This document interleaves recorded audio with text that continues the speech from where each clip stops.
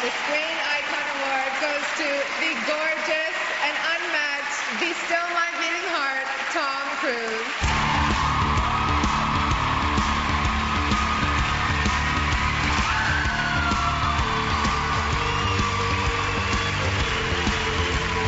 I do believe it's the role of the, of the artist to provide uh, that sometimes needed sense of relief from it all, you know, be it, I guess, joy, happiness, or a, a roller coaster ride that, uh, you know, electrifies our senses. And, you know, I guess as a filmmaker, the most important thing to me is you.